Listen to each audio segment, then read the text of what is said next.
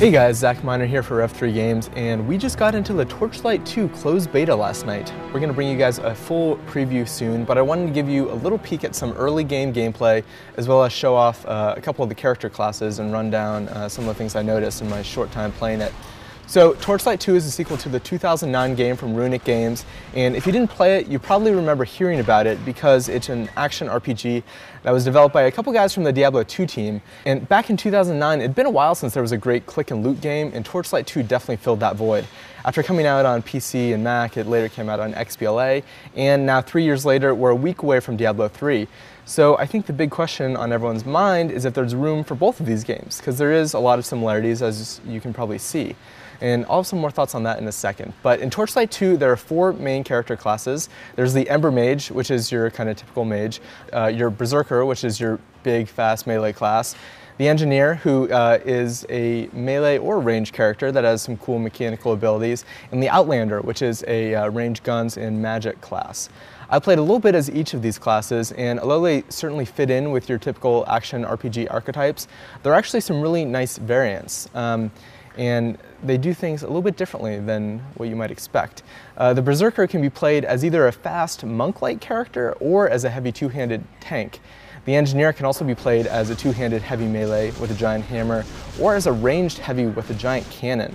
Uh, that's actually what I played as the most. The cannon is an awesome, awesome ranged weapon. Um, it's got some really nice like splash damage and so you can take out groups of enemies and knock them back and it's really satisfying. Uh, his abilities also allow him to drop little robots that can either heal him or do damage to others, and he has some uh, melee stomps uh, in another skill tree. I usually love playing as mages in games like this, and the Ember Mage was definitely no exception.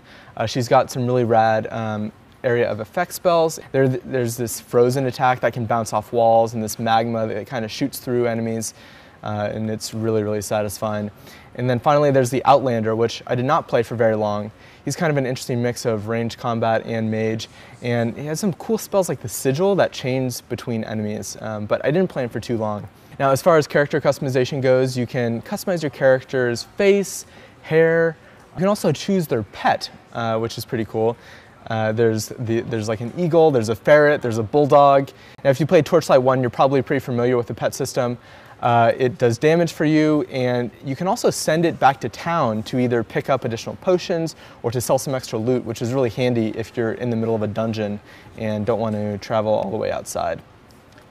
Each class also has a charge bar which rests um, right above your action bar and it does different things depending on your character class. It fills up as you kill more and more enemies and for the Outlander it increases your critical chance, your attack speed and cast speed, pretty typical.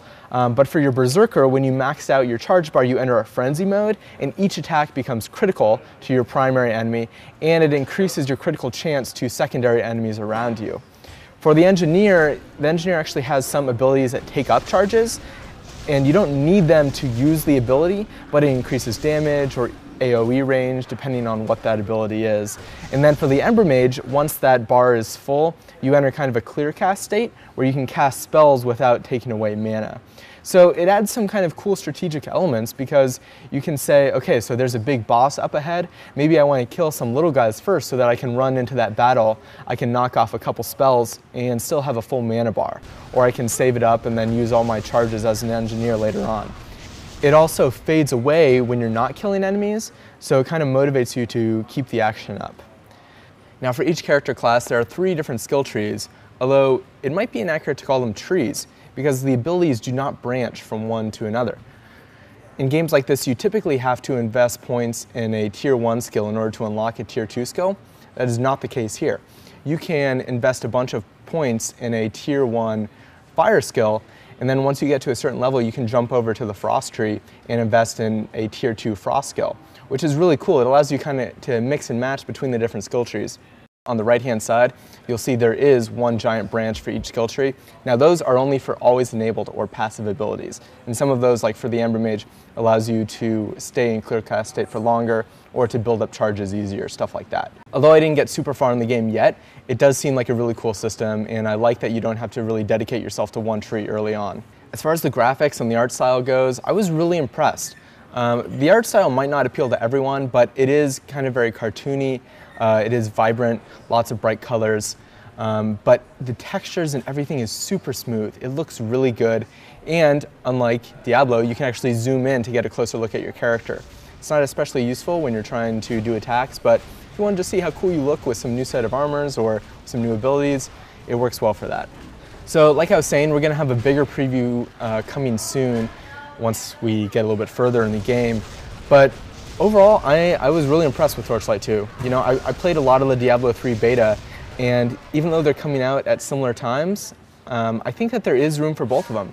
Torchlight 2 is a lot more similar to Diablo 2 than I actually think Diablo 3 is. Diablo 3 makes some really kind of key mechanical changes that might not appeal to everyone. And Torchlight 2 is much more like Diablo 2, but you know, vastly improved. They fixed a lot of the issues that were in that game and that were in Torchlight 1, to be honest. So I think that there is room for both. Also, you know, Torchlight 2 does not require a persistent online connection. It can support LAN play. A lot of people were pissed that Blizzard cut that stuff out of Diablo 3. And Torchlight 2 is only 20 bucks. It's going to be coming out for PC uh, soon. It's in closed beta right now. We're going to be giving away some closed beta keys later on. Um, but yeah, it should be headed to Mac shortly thereafter. And I would guess that we're going to see an XBLA and PSN version down the road. So yeah, that's Torchlight 2. If you guys have any questions, leave them in the comments below um, so we can answer them uh, in the comments or in a later video. And that's it. We'll see you next time.